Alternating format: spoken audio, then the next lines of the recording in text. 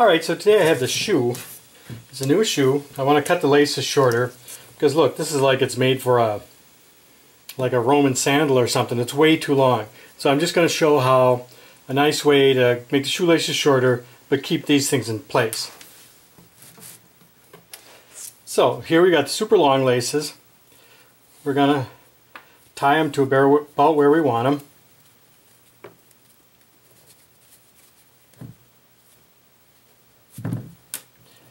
And pull them. Make sure they're even.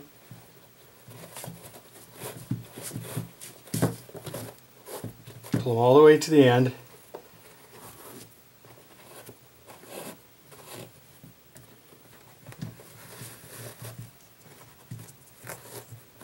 Right? Looks good. We're going to cut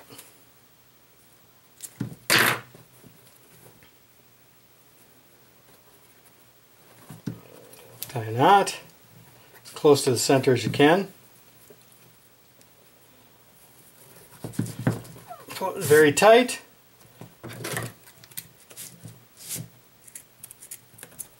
Pull short.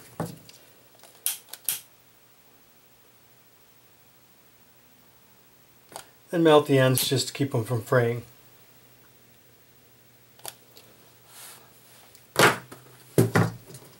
Then untie. And there. Laces of a reasonable length.